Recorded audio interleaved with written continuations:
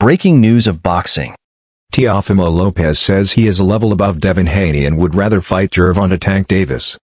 WBO champion Teofimo Lopez says Devin Haney nowhere near any picture when asked whether he would like to fight fellow super lightweight, interested in eye candy bout with Gervonta Davis, watch Lopez vs Steve Claggett live on Sky Sports from 2 a.m. Sunday. Teofimo Lopez vs Devin Haney would make a great fight, says top-ranked promoter Bob Arum.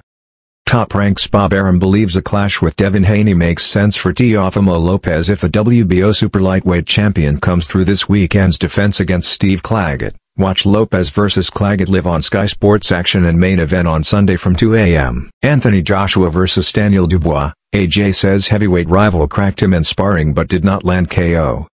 Anthony Joshua plays down rumors he was floored in sparring by Daniel Dubois a number of years ago, says he will not be manhandled in Sky Sports box office fight against British rival at Wembley on September 21.